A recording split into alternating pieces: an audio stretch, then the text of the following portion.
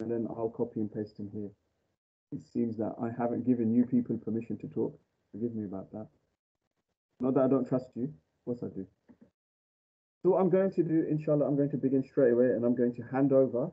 Uh, we are recording. I'm going to hand over straight away to Altaf. And thankfully, um, many of you did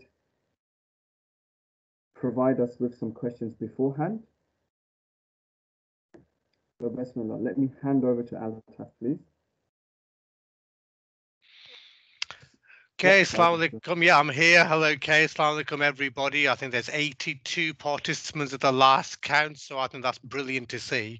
I'm not going to be too long, so I know we're a little bit behind time, so I'm going to be as quick as I can, Kay, don't worry. And then I'll very quickly move over to Sayeda, and then we will move over to you, and then we'll come back again. So firstly, you know, friends, colleagues, thank you so much. I'd like to just say how brilliant you've been over the last 12 months. It's been 12 months of actually having to do all sorts of things. And, you know, you've shown so much courage, leadership and integrity over the last 12 months. And I, I salute you. You know, I'm really, really proud of you. I cannot even start thinking about the obstacles that you've had to overcome over the last 12 months, but you've stepped up. And in a couple of weeks' time, folks, you are going to have to step up again. You know, sort of uh, from the 12th, we will be going into a really important part of the, the Muslim calendar in terms of our fasting.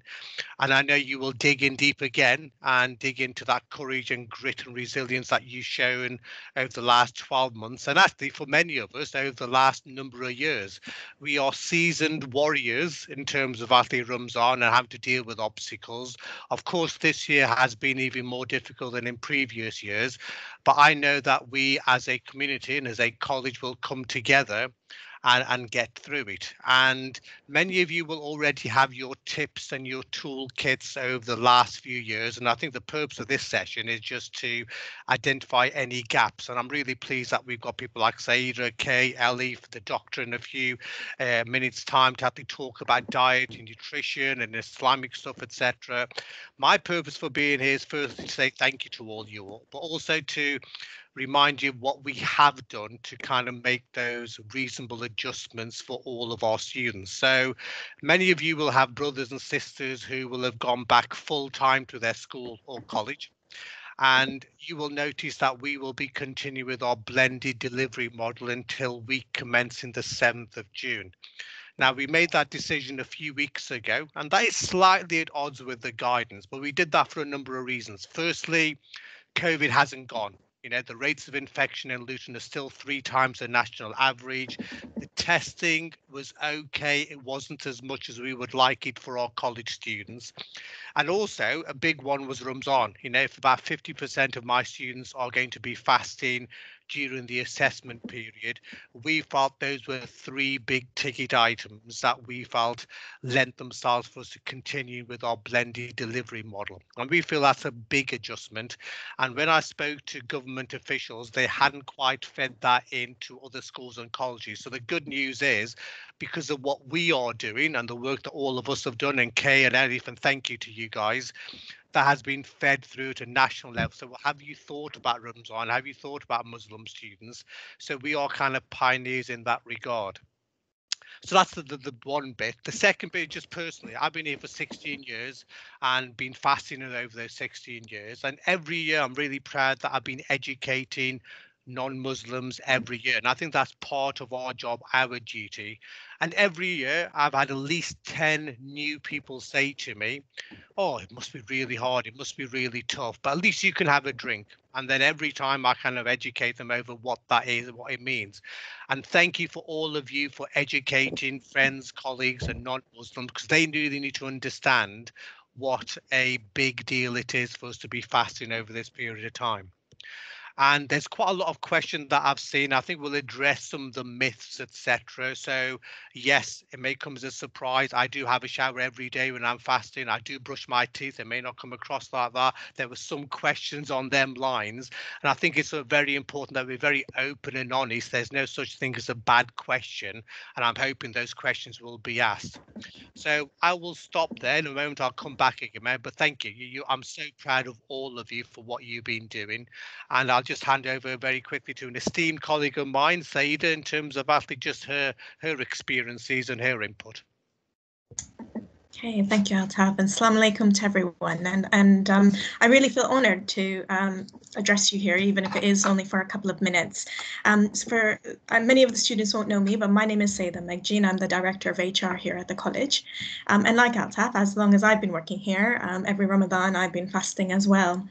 And it is um, really lovely to fast in a community um, such as Luton Sixth Form College, where we have so many staff and students who are participating in the same event, and that that's what makes it possible and makes it really fun. I think from my perspective, um, it's no doubt really, really difficult, and and I find it difficult every year. I have to admit, um, but I think as I've gotten older, I feel that um, I sort of uh, look forward to it a bit more than I ever did when I was a bit younger. And I think the reason for that is that it really does teach me the um, possibility of the willpower, you know, the power of the will, as it were.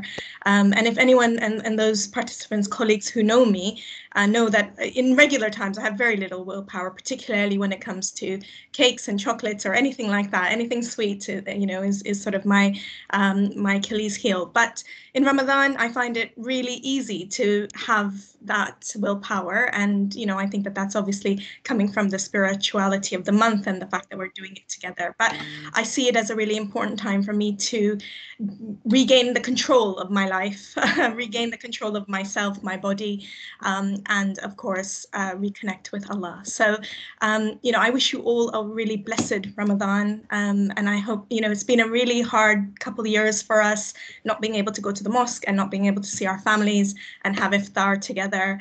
Uh, and inshallah, maybe next year we might be able to do some of that. Um, but until then, we can kind of remember each other in our du'as and, um, you know, pray for each other in this most blessed month. So Ramadan would Mubarak to you a bit early, 15 days to go almost, or 16, I think. Um, and um, I hope you all have a wonderful Ramadan. Thank you, Altaf. Thank you. Thank you, Sayeda. Just very quickly, some questions have come through to me, which might be of relevance to, to Altaf or Sayeda, I'm not sure. So yes, you can send your questions to me. I'm receiving them in the chat, so please keep doing that. I don't know what's happening with our larger chat function. Sorry about that. But one thing that uh, students have asked, they've asked specifically what would happen to them if they need extra support. What can what can they what can they uh, do in that process? If you can be so kind. Okay, you broke up. I think it's about what support the students will be getting during that period. Did I get that right? You broke up a little bit, Kate. Did I get that right? Yes. Yeah. Okay. Yeah. So I think what we also, and I should have actually mentioned that. So what we did because of some of the guidance that was shared with us by Elifa and by Kay is that we had we've had conversations with with heads of faculty, with progress coaches, and as we would do in any other year, we will make all reasonable adjustments. We understand how difficult this is. We understand that the Ramzan coincide with the assessment period, and these are kind of schedules inflicted on us. And if you are struggling, the key thing is don't keep that to yourself. Please share that information with your teacher, with your progress coach, with someone, and then we will look at things on a case by case basis and do whatever we can reasonably to make those adjustments because we don't want to add extra pressure if we possibly can do. Okay, thank you very much. So that's the key message here for our students that we really want to make it clear that the college is saying we will try our best to help you in different ways as long as you can let us know. So speak to your progress coaches, speak to your teachers. Don't don't keep it to yourself. It's going to be a bit of a different one this year, which is why we've got uh, Dr. Monjour Ahmed coming in as a guest speaker, inshallah, and some of the things that we're going to be running through.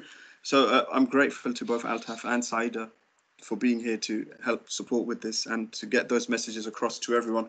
But the thing we do want to stress is the following that look, it's going to be a little bit different this year. It's our first time fasting in an institution whilst the middle of COVID, and uh, we are aware of that.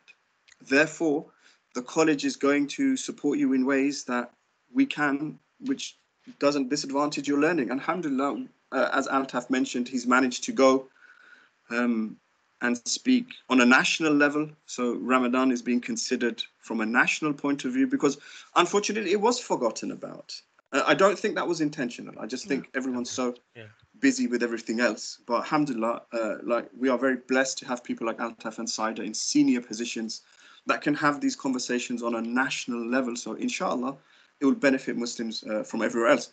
So what I'm going to quickly do now, still keep your conversations coming, keep your chats coming to me. I, I, I can see them, so inshallah, I'll pick them up as we go along. I'm going to begin with um, a quick session on the fiqh of fasting. So I'm going to share my PowerPoint, and I will say this, uh, forgive me, it, it, will be a little bit rushed, but uh, both Elif and I are happy to still hang around after five o'clock to um, go through things with a bit more detail and to take even more questions and then have an even bigger Q&A. And our PowerPoint that we're going to be using now, we will be sharing with you guys. We'll be uploading it on source and I'll send it out to everybody who's attended. So we've put a lot of detail on the PowerPoint. Don't think that we're going to go through that right now. That's not the case. Uh, so it's there for your information as well. Some of the questions you put forward, uh, you were so kind to do that when we registered. So bless you all for doing that. And I'll try to address those uh, as we go along, inshallah. So hopefully, inshallah, you can see the PowerPoint. Uh, um, so Altaf Sayeda, can you see the PowerPoint? Is that there? Is, is that? Yes, we can yes, see. Next, brilliant. Thank you, Kay. So you've had you've heard from Altaf, uh, our principal and CEO. You've heard from Sayeda, who's our director of HR. Now here I am with a very crash course. Uh, forgive me, my teachers would um, chastise me severely if I'm going to be doing this in 10, 15 minutes, but what can I do? Such is life.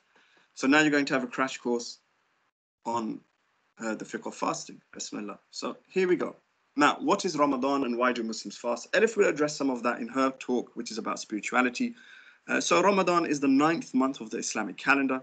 It's approximately going to start 12th of April and last until 12th of May, give or take a day. And approximately fasting will be from four in the morning until eight in the evening, but you will have to check the calendars. That's just an approximation. Why do we fast? In short, short version from my perspective, because uh, we are told to. The Quran makes it very clear, and you have a quote there from Surah Baqarah, chapter 183. Uh, o you who believe, fasting is prescribed for you as it was prescribed for those before you, that you may be mindful of God. So there's a lot going on, but the short version is it is a pillar for Muslims. Uh, it's one of the five pillars, it's one of the fundamentals of this religion. We are expected all to fast unless we are exempt from fasting. So not everyone will fast. So I briefly want to talk about exemptions. Okay, bismillah. So exemptions, there are medical exemptions. And these medical exemptions fall into two categories. There are temporary exemptions and there are permanent exemptions. So a permanent medical exemption uh, means somebody will never be required to fast fasting will just be too harmful for their health. It just will not happen. In that circumstance, and that's part of a conversation with your medical professional, what I would say is the Islamic ruling is you do not fast whatsoever. And for every fast that you cannot fast, you will pay something called fidya, which works out as three pound per fast. So somebody who permanently doesn't need to fast will pay about 90 pound per month. Um, temporary medical exemptions. So you could be healthy today and then something could happen, God forbid, for 10 days, the doctors say absolutely not. And that could include COVID, right? And inshallah, when Dr. Ahmed comes, he can talk about that. So for that temporary medical exemption, you will not be fasting and you will not be paying fidya. Instead, what would happen when you're fit and healthy again, uh, you would do what we call qada fast. Now, qada is on the slide. It just means make up fast. It means if you miss a fast, you still owe that fast. So it's not like, okay, Monday I didn't fast, that's the end of it. No, you still owe that Monday, and you will have to do that at some point in your life. The sooner the better. That's called qada. Um, for a medical reason, there is absolutely no sin on any person for not being able to fast in Ramadan. And inshallah, when their health improves, they will just carry on and do that qada fasts that they owe. Could be one, it could be five, whatever it is. And that would happen. Um, if someone is on menses, they don't fast, obviously. And when they finish, they make up what they've missed with qada fasting. If you're pregnant or breastfeeding, you don't automatically not fast, but if that fasting would cause um, harm to both the mother or the child, then you're medically exempt temporarily. Qada fast once again, so you don't actually fast then, you fast when you're feeling better. That could be a year from from now, even like through the pregnancy and breastfeeding, whatever. But you you will owe that, inshallah. And traveling, um, you don't have to fast if you're a traveler. You may choose not to, and that's fine. Um, but in the instance of outside of traveling, you will just owe qada. So these are the legitimate exemptions. People don't need to be doing that. And the medical exemption is very important. Inshallah, we'll speak more about that with Dr. Monjour Ahmed. Now, what is actually required to fast? So here are the obligations needed to fast. Number one, you must have an intention to fast. So the best way for me to explain that is the night before you want to fast is intend in your heart consciously, oh Allah, I intend to fast for you tomorrow in the month of Ramadan. That doesn't have to be in any other language. It could be in English, it could be in Urdu, Bengali. It doesn't matter what language you intend it in, that's fine. Um, in the Hanafi school, you need to make that intention every night if you wake up for suhoor, that will satisfy it. That will be enough as an intention. But to make things easier for you, I want to give you a position from Imam Malik and Imam Ahmad, uh. Both of them have said if a person intends to fast the entirety of Ramadan in the beginning of Ramadan, that will suffice as an intention. But it's better to make that intention every night. So, oh Allah, I intend to fast for you the next day. Moon sighting. So obviously you can only fast in Ramadan when it's Ramadan. Otherwise, it's just an extra fast. And and moon sighting is complicated. I'm happy to talk a bit more about that in the Q and A. Uh, and finally, what you have to do, you have to avoid what we call the nullifiers. Now, nullifier basically means something that will, if it happens, you're no longer fasting. Okay? And I'm going to quickly talk about those. So nullifiers, there's two types. There's something that we call a break, which uh, may not be sinful at all and only requires a qada. So you only need to make up what you missed that day. So something could happen, it broke your fast. That's okay, make that up. And then there's another type of nullifier, which is referred to as a serious break. In this instance, a person will be sinful. They will have to make up the qada. And there's something called kafara. Kafara is basically a penalty. So if you have to do kafara, you have to fast for 60 days back to back, one day after the other, including the fast that you owe. So imagine you've got one qada and you broke it with a serious break, you would end up fasting for 61 days back to back. For women, what would happen? You fast, you fast, you fast, you have your menses, you have a break. When your menses is stopped, you fast, you fast, you fast. 60 days is over. If you have 20 or 30 or 50 serious breaks, one kafara will suffice for all of them. So you don't need to do 60 every time you've done this. But inshallah, try and avoid it. There's only three instances where it's a serious break. And these are the following. Eating or drinking intentionally something which is desirable while you're fasting. So imagine you're walking home from college, you walk past the chicken and chip shop, you smell it, you say, mm, that sounds nice. I want a chicken burger. I don't care that I'm fasting. And you go and get it you have a serious break. Uh, you owe that fast and you owe kafara. The second thing is taking medicine unnecessarily. So if you didn't need to take the medicine and you took it, your fast is broken, you owe qada, you owe kafara. And the final thing, which hopefully no one's doing anyway, uh, unless you're married, sexual relations while you're fasting. Right. So if you do that while you're fasting, your fast is broken, you owe qada, that's uh, you owe kafara, that's it. So only these three conditions would lead to a serious break and kafara. All right. Now, a normal break, these are some of the ones that are common and based on some of the questions that you've said. So if any of these happen, your fast is broken, you need to repeat that as a qada. There may or may not be any sin. Uh, asthma, I'm going to talk about shortly in a second. So thank you. I've got a question coming through for asthma. I'm going to talk about it. So one thing that will break your fast in the Hanafi school, accidentally eating or drinking. Uh, the best way I can describe that is with bullet point two, swallowing water when you're making wudu. So you know you're fasting, you go to wash and you accidentally drink water and you say, oh no, I was fasting. Um, in that instance, in the Hanafi school, you owe that fast, you've broken it. However, as a bit of leniency for your students, there are other opinions, I think, in the Shafi'i school. If you accidentally broke your fast, they say carry on. Um, but in the Hanafi school, that's not the case eating something which is not desirable will break your fast. So if you're a habitual fingernail eater, if you eat your fingernails, you're file, uh, you've broken your fast. Swallowing blood from the mouth, providing you can taste it and providing your saliva has changed. If you're aware of it, it breaks your fast, you owe qada. Pouring water into your ear, I don't know why you would do that, but if you've got a jug and you pour water into your ear, that will break your fast. This is the important one. Breaking the fast due to sickness.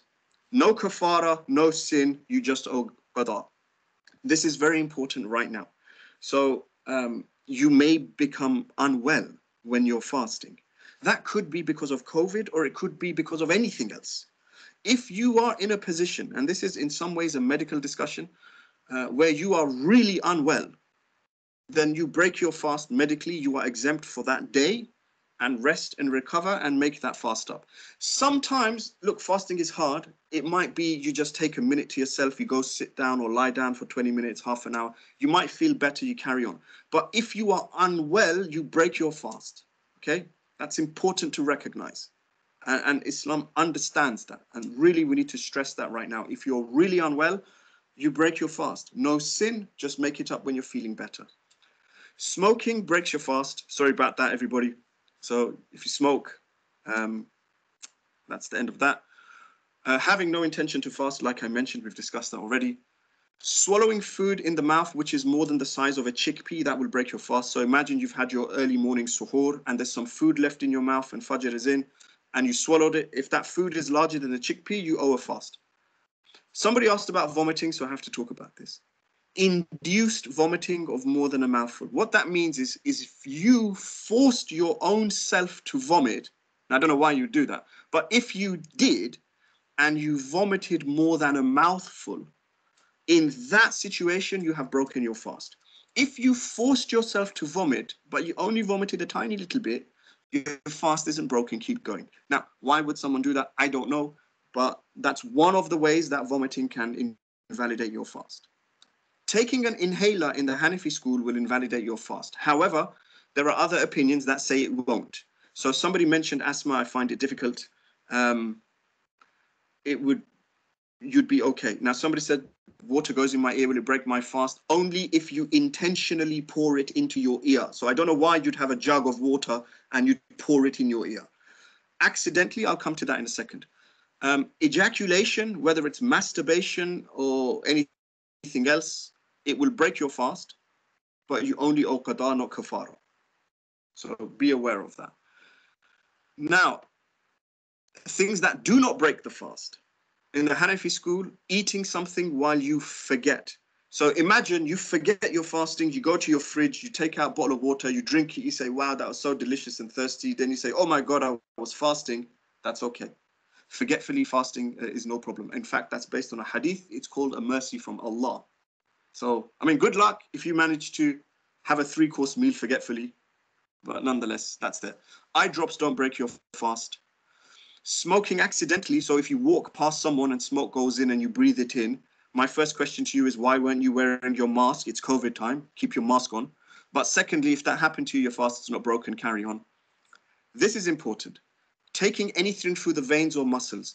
Vaccines, blood tests, injections in the muscles or the veins do not break your fast at all. Please communicate that message to your parents or anybody else who's eligible for a vaccine. What about swimming? No, swimming will not break your fast, providing you don't drink the swimming pool.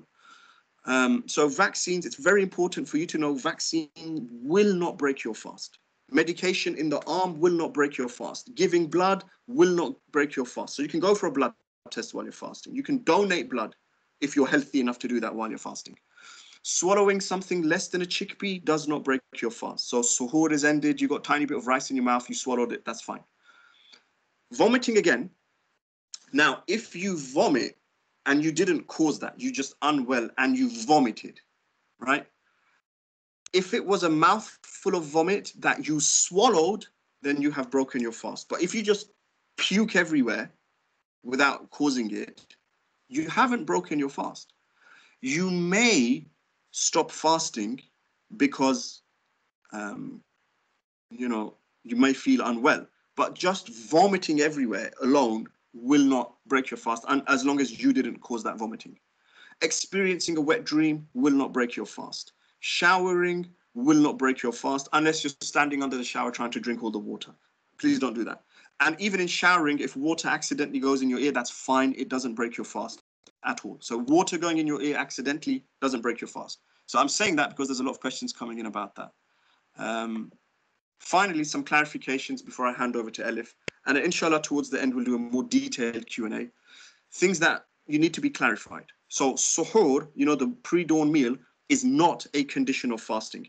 If you skipped um, fasting, if you skipped suhoor, it doesn't matter. You can still fast. Now we're going to talk to um, Dr. Ahmed to find out what his advice is about suhoor and whatever else because of the impact on your sleep. But it's not something that will you need to do. Taraweeh is not an obligation. So you don't have to pray Taraweeh. You don't even have to do it in a mosque. You can pray Taraweeh at home. In fact, it could be very well better for you to do that this year. You can brush your teeth when you're fasting, but it's better not to. Uh, that's makruh, but you can do. Um, the fast begins when Fajr begins. So Fajr is like a two-hour window. As that starts, like 3:45, that's it. You you start fasting. Not at 4:45. Um, swearing doesn't break your fast, but obviously don't do that. Fighting doesn't break your fast, but please don't do that, especially at college or anywhere else. Lying doesn't break your fast, but please don't do that. Um, backbiting doesn't break your fast, but please don't do that. Most of the sins will not break your fast, but they can put you in a position where the reward you would gain from your fast is capped. So be aware of that. Bleeding doesn't break your fast unless for some random reason you decide to drink the blood. Hopefully you won't do that. Wearing makeup on its own will not break your fast. Um, there may be other issues to consider, but nonetheless, doesn't break your fast. Not praying does not break your fast or invalidate your fast. I would hope in Ramadan Muslims are praying because it's a pillar, it's an obligation. But if you're not praying, your fast is still valid, right? Inshallah. But the reward level, different question. And the sin level for not praying, different conversation. So if there are any questions, put them in the chat to me. And then when we come to question time, I'm going to get on with that, inshallah. But what I'm going to do now, I'm going to hand over to Elif. Inshallah, she's going to quickly crash course, run through the spirituality. And I have been answering the questions that have been coming in. So let me just jump out the way, inshallah. Bismillah. Can you yeah. So just click, click when you want to go, right? Yep, that's it. Assalamu alaikum, everyone. Hope you're well. Alhamdulillah, very blessed to be here with everyone. It's strange times that we're in. This one? Okay, so I think I've actually got the hardest part, honestly, because um, uh, spirituality, how do you even like begin with that? I'm going to be speaking quite fast, so um, inshallah, try and, try and keep with me. Um, a lot of stuff is on the slides, as Kay mentioned. Um, we're not intending to go over everything, but it's there for you. Your questions that you sent, um, they very much have influenced what we put on there. So we've tried to do our best there. Feel free to come back to us with any other questions that you may have. Um, so let's begin. Bismillah ar-Rahman. Allahumma salli ala Sayyidina Muhammad wa alihi wa sallam. Okay, so as we know, um, intentions, intentions, intentions. The intentions that we have are fundamental and our acts and our actions are judged by the intention. So we're going to start, inshallah, by looking at or thinking about intention. Now, in the old, days, back in the day, people would sometimes take six months prior to Ramadan to get get ready and to get um, prepared. Six months. We've got just like slightly over two weeks. But alhamdulillah, it's all good. At least we've got that. And alhamdulillah, that we're inshallah, we hope that we actually might meet Ramadan. You've got uh, like 120,000 people in our country that haven't made it, and Allah have mercy on them mm. and on all our all our, our, loved ones as well that have passed away, whether it be from COVID or anything else. So we really intend, inshallah, to reach it. This was the prayer of the Prophet. So intentions, some ideas of intentions that we could or should have. So being in the state that Allah and His Messenger love for us to be in. Okay. Part of our intentions are there. I'm not reading through it all, but it's there for you to, to have a scan of. Um, is to connect with the Quran. This is the month of the Quran, and connect with that and wanting to act in accordance with that. That's going to be pretty, pretty strong. And also, Kay has gone through like the basics of fasting. We can call that ordinary fasting. But actually, there are different levels. Imam Ghazali talks about three levels of fasting. And one of our intentions could be that we want to intend to do the fast of the the people who are the elite. All right. And this is a type of fasting where we don't allow our eyes, our ears, our hands, our legs to disobey God. So we are careful and vigilant over our bodily parts, not just eating and drinking and not having marital relations, but also making sure our eyes don't see what it should, what they shouldn't see, or our ears don't hear what they shouldn't hear, or our we don't say something that we shouldn't say, okay, or we don't write or type, you know, type or post something that we shouldn't. And even more than that, a higher level. That's the beauty of our religion. There's, it's for everybody, whatever level that they are, high, low, doesn't matter. It's for everyone. That the highest level of fasting is that we go through our fasting day with, with our heart, mind just focused on on its Lord, on Allah. Okay, and that's hard to do. that's really hard to do. But inshallah, it's there. So intended, intend. Um, one of uh, the questions, or a couple of questions asked about the virtues of Ramadan. Again, short and keeping it short and sweet. This is the master of the months. All right. This is the best month, most important month of the year. Okay. And inshallah, it's around the corner. And even if we didn't know anything more about this month, just to know that this is the month in which the Quran was revealed. Okay. So that is fundamental. This is the month that Allah, our Lord, decided he was going to reveal the Quran to his prophets. Prophet. And we know that the first verse, or inshallah, we hope, hopefully we know, the first verse to be revealed was Iqra bismi rabbika khalaq, which means read in the name of your Lord who created. And even if we knew nothing else, that alone would probably carry us. Because also we're students and we're people in education, right? we're going to be doing a lot of reading, whether it's for exams or studies or Quran, whatever it is, but to do it bismi in the name of your Lord. And whatever we do in the name of our Lord. Just to inspire, if we need more inspiration, this is the month in which the gates of heaven are opened and the gates to hell are closed and the devils are chained. So, what comes through in this month is very much our own self. We can't say, oh, you know, a bad influence, no, no, no, it's from ourselves. So we have an opportunity to really get to know our own selves. And as the first hadith mentions, the, the one who observes fast during the month of Ramadan out of sincere faith and hoping for Allah's reward, then all of his past sins will be forgiven. That is heavy. That's heavy stuff, right? And one of the probably most important virtues, I would say, perhaps, of this month is Laylatul Qadr, the night of power. And the Quran says what will what will what will let you know what this what this night is? Okay the night that is described as better than a thousand months okay? And the one who catches this inshallah will be sorted all right? But by by the way of course it can be any night any night some people said first some people said 27 some people said odd nights some people said last 10 somewhere but realities we don't know unless you're on some spiritual level and you can tell but inshallah we catch it. And how did it come about? Because the Prophet وسلم, was speaking with his companions about the great people of Bani Israel and how they would worship for like a thousand years. And the companions got sad because they, they knew that they're not going to be able to do that. We're not going to live for a thousand years. And Allah, most generous as He is, gifted us this beautiful night. So, inshallah, may we all reach it, inshallah, mm. when we all reach it. And the dua there that we, is encouraged for us to say is Allahumma innaka afuwun tuhibbul afwa fa'fu and oh Allah, verily you are the pardoner and you love to pardon, so pardon us. Okay. So spirituality, but practicality. The Prophet ﷺ is the most fantastic example of spirituality, but he was someone who's a father, a husband, a leader, a, a, a, a human rights activist. All the beautiful professions were his, really. And uh, all those different parts and points he was with allah he was with his lord.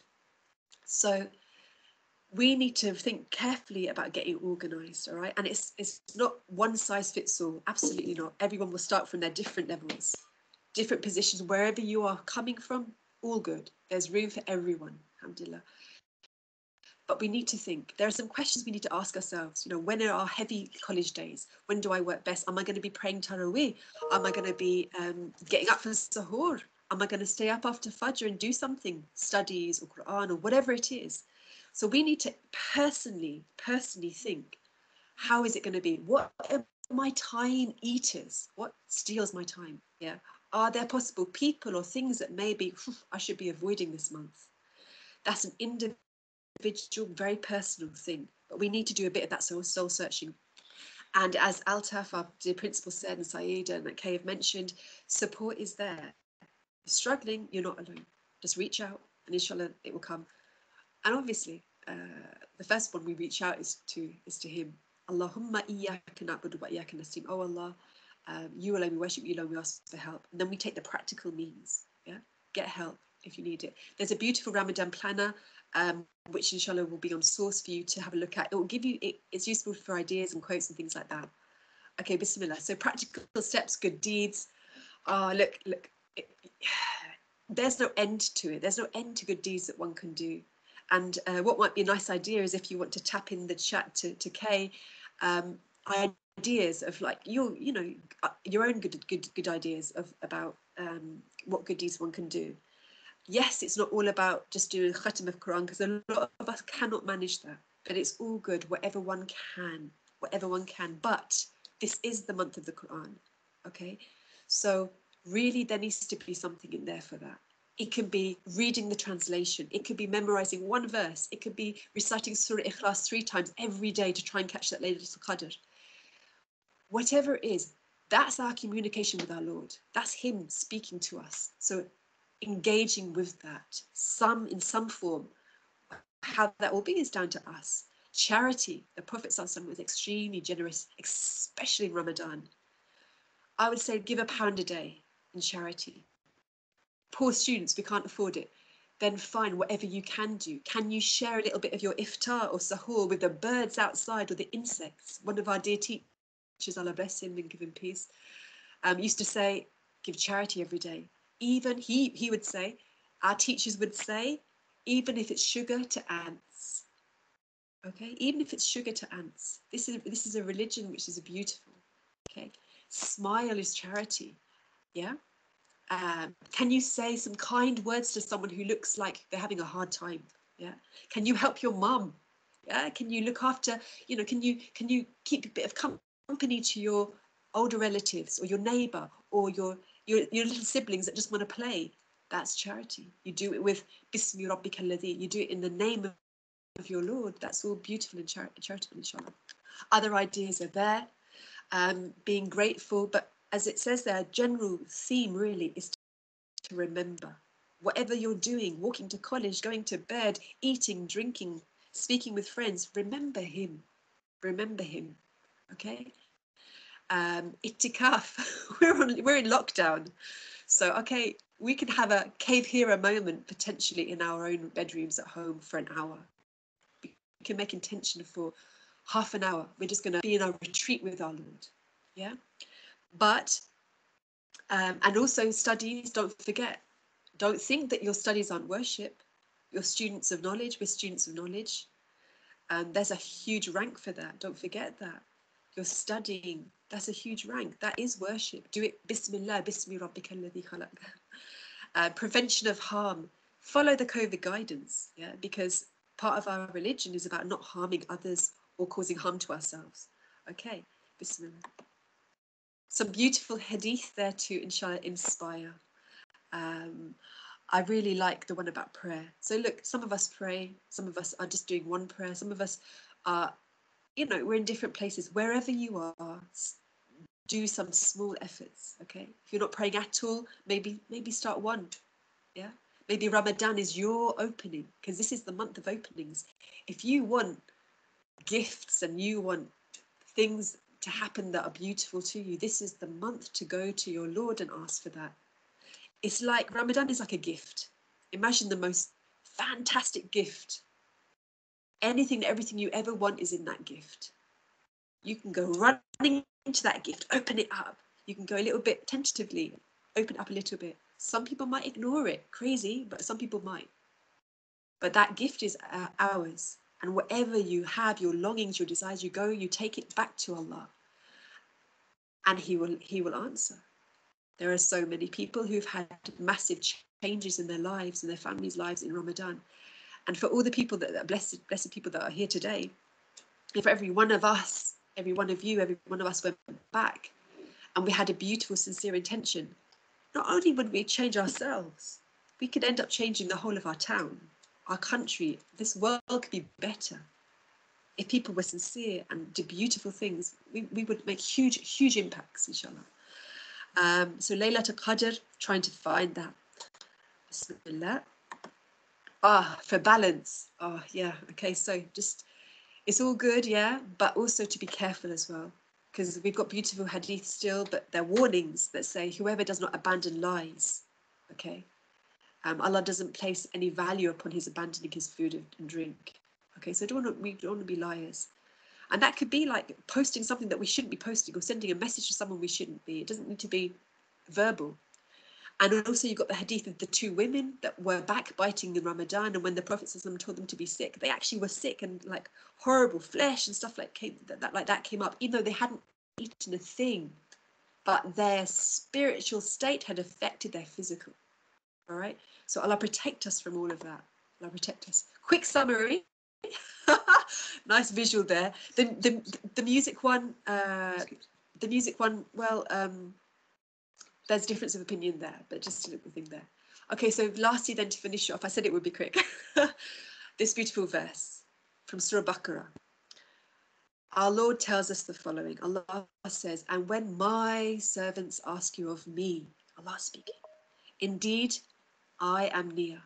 I respond to the prayer of the, of the one who asks when he calls upon me. So, guys, let us call on. Okay, this is the month of calling. He's told us what he'll do, he will respond. Okay, we just need to take those baby steps, small steps, little things are loved by our Lord because our Lord is Akram, He's generous. He's generous. So may this Ramadan be a beautiful one. We're here to help you, inshallah. We're here to support you. Let's keep everyone in, in du'as as well. That's heavy, inshallah. And uh, thank you for your time and forgive me for uh, uh, any any any gaps and so forth, inshallah.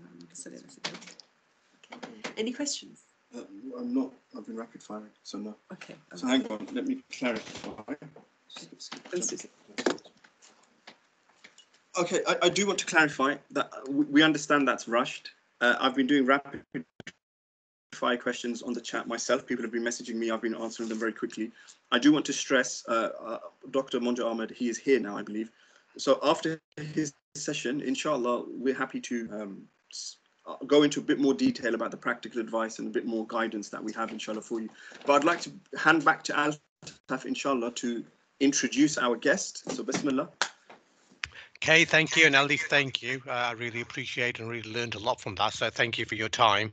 I'm not going to spend a lot of time because I think you all want to listen to Dr. Ahmed. So it gives me great pleasure to introduce to all of you an alumnus, an ex-student of ours. He came to this college, also went to Denbigh, is now moved on, is actually a, a, a very well-established and well-reputable doctor.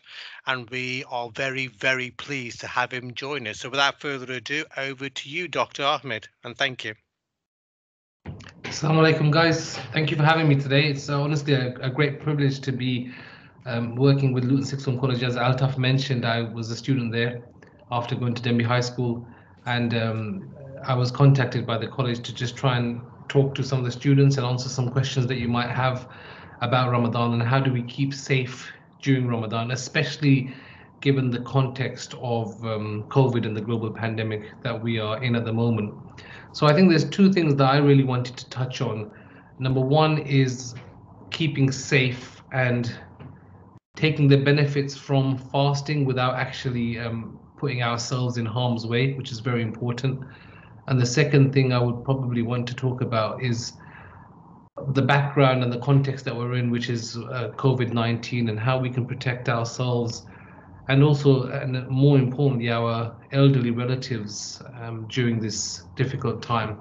So I, I, haven't really prepared a talk per se because because I was hoping that I may be directed a little bit by by you guys really to see what you want to talk about. But I just want to talk a quick a quick bit of background about um, Ramadan. So I'm I'm a GP, so I'm I'm just going to try and touch on some of the um, medical aspects around fasting. And I think it's very important to understand the physiology um, around fasting and the body's physiology around fasting because it does um, kind of guide how we fast in a safe way. So some people ask, is fasting good or bad for your health? And in order to understand that, you really need to look into the physiology of how fasting affects the body. Now, changes occur in the body in response to fasting, and it all depends on the length of the continuous fast.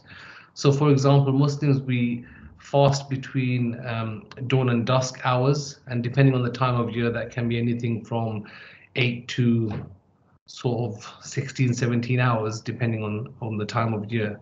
So there's quite a, a variation there. I remember when I was at sixth form, um, we would um, do Fajr at about 6.30 and then we could have iftar about 4 o'clock or 4.30. It was amazing. It was really good actually because the, the, the, the fast wasn't too long and we still had a lot of evening left behind. We're at a time now where I believe this year the, the sahur time is going to be quite early for everyone. So everybody will be waking up to have a the pre-dawn meal and and pray Fajr and there may be some time left after that to go back to sleep and I'll touch back on that later and then we won't be again eating and um, having iftar until later on in the evening around eight o'clock. So it's quite a long day to be fasting especially when you're studying and trying to stay alert and concentrate on your studies um, and also impending exams as well. So it's, it's it's quite a stressful time for you guys the students and also the faculty who are who are also like you know all of us we're all trying to fast and do the best we can.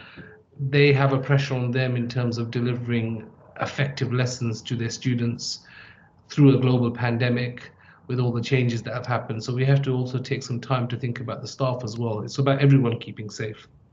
So going back to the physiology and i won't bore you guys too much. Um, during during a fast okay um, the body the body's stores of glucose are used up to provide energy to keep you going. And as the fast gets longer, once those glucose stores run out, fat becomes the next source of energy for your body. Um, only if you fast for a very, very prolonged period of time, which is, um, we're talking days, okay, you start breaking down proteins for energy. And that stage of fasting becomes essentially starvation. And for Muslims during the month of Ramadan, we don't fast to that extent where we're fasting for days and days at a time.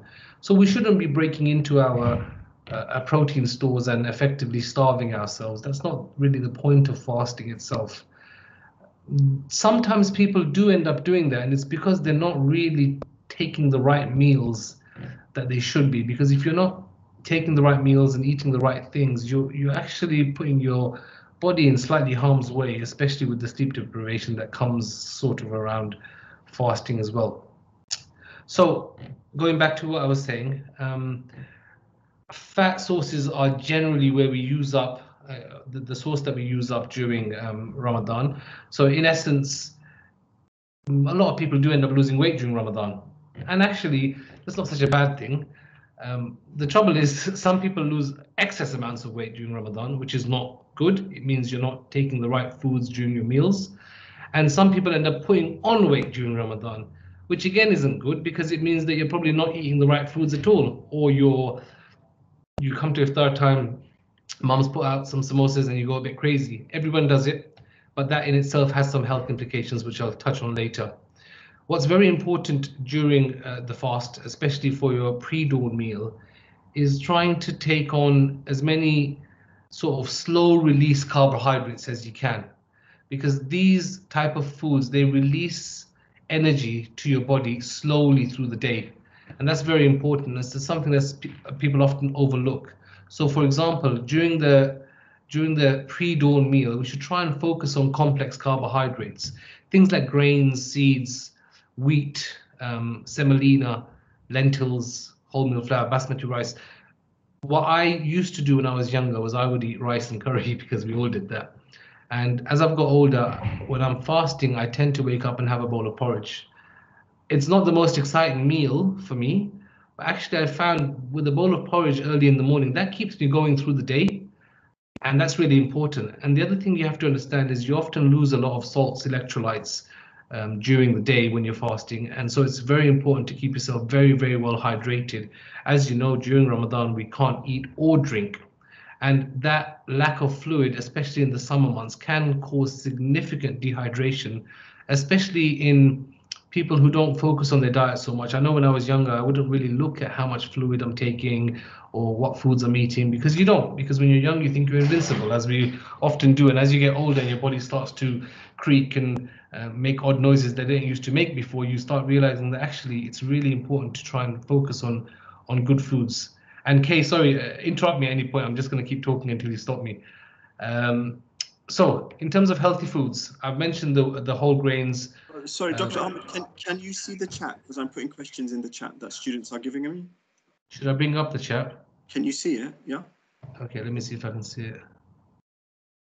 Oh yeah, yeah, here we go. Okay, so I'm Okay, just let me let me just quickly hit some of the potential uh, health complications around fasting, and then we'll go through some of the questions.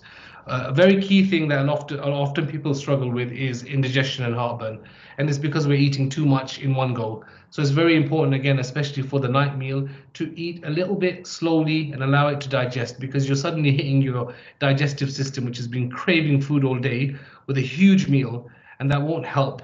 Um, in terms of medical conditions, one of the big ones is diabetes. So anybody who is diabetic, it doesn't preclude you from fasting, but you need to be very care wary about your blood sugars during Ramadan, and your GP will be able to help you with that. And I'll also mention that. Dehydration, I've already touched on, very important and very dangerous medical condition if left untreated for the period of days and weeks, which can happen. And headaches are a common uh, symptom in Ramadan because generally people are poorly hydrated. So it's very important to avoid these things because if you can imagine you've got an exam coming up, you're not sleeping well, you're not eating well, you're not drinking well, you're fasting and you've got a headache, you're not going to be very productive. So it's very important to actually try and keep your hydration up. Other things include constipation, which you know it's, it's a bit yucky to talk about, but really, if we don't eat properly and we don't have good fiber in our diets, we'll get constipated, and that can make you feel bloated and ruin the experience of fasting. This can add to stress, and stress is you know we've all got stress in our lives, especially with this pandemic and what's going on, especially with exams. So we need to be very wary about managing that stress level. And the other thing is obviously sleep deprivation. Now, sleep deprivation is very difficult to get around because unfortunately you know, we, we, we, do lose sleep during Ramadan. This is just part and parcel of, of what Ramadan entails. You can do it safely. It's just being very regimented in how you go to sleep after your evening prayers, um, after iftar and taraweeh. It's important to get to bed on time if you want to wake up and feel refreshed for suhoor. Some people go back to sleep after suhoor, some people don't. It's just about getting enough sleep and as much sleep as you can. It's it's it, it's a difficult time but really you don't want to let your education suffer during Ramadan. You've all worked so hard, especially through this pandemic, to sort of address, you know, your, your academic needs, and some of you are hopefully going on to university soon. You don't want that all to fall behind because you've just spent a month um, fasting and, and putting your body body through difficulty when actually it's really a spiritual time, a very enriching time. But you know, if we don't do it properly, then then that's when you can really suffer and then and then your body will struggle. I'm just trying to get on this chat so I can try and see what everybody's asking. One second.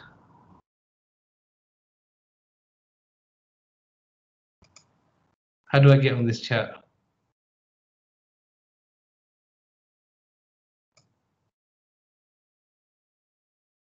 Sorry, Kay, I can't see this chat.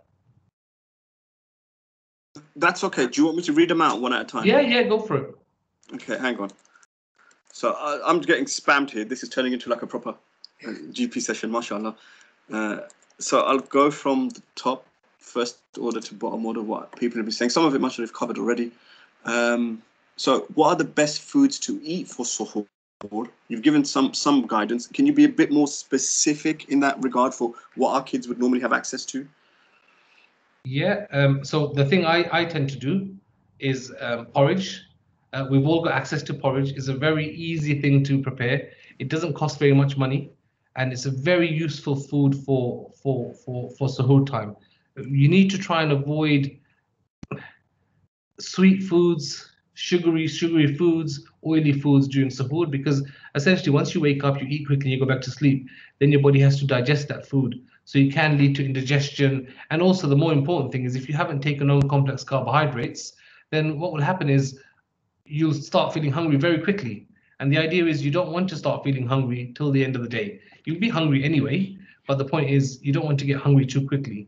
So the, the foods that I mentioned, um, grains and seeds, um, barley, wheat, oats. So again, porridge, rolled oats is another good one. Um, lentils are quite good, as in dal. That's quite useful. And actually, basmati rice in moderation is actually quite a useful food to have. Growing up, what we'd always do in Bengali households, we, would have something called um, amdud. So basically, it's rice mixed with mango and milk or cream. Quite fatty, but also quite rich in complex carbohydrates. And I didn't realize at the time, but it used to get me through the day. And, and there was a reason behind it. I thought it was just a sweet treat, but actually a bit of mango mixed with a bit of basmati rice and some um, single cream, not ideal, but it's it's it's better than having you know a takeaway, for example, or, or chicken and chips. Not that you can get that at four in the morning, but you never know. So really, slow release complex carbs. Um, my advice would be probably porridge. That's the best thing that I find. Okay, thank you. Now, some people have asked you for ideas, and I want to highlight to everyone that we're giving you a book written by the medical professionals uh, for meal plans. And the book contains loads of recipes for you to look at for iftar and suhoor, which have science behind them. So inshallah, we're sharing that book with you all. Meal, because I don't want Dr. Ahmed to sit here and give us recipes after recipes after recipes. Mashallah, he probably, but you know, this isn't a culinary moment. Um, so is it better to have suhoor or skip suhoor and sleep longer if we have early starts? Very difficult question. I mean, really, it's hard not to answer this question without going into the religious aspects a little bit. So, so really, in Ramadan, what we want to try and do is try and be the best Muslims that we can be.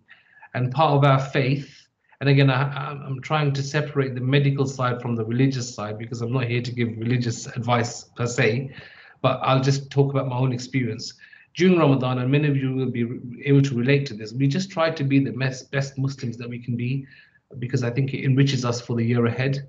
And one of the things that's very important to Muslims is praying five times a day. And so you'll find during Ramadan, the masjids are full of people because everybody's just got that extra enthusiasm to pray. So praying, um, praying is very important for Muslims, and especially during Ramadan. And praying on time as well is actually really important.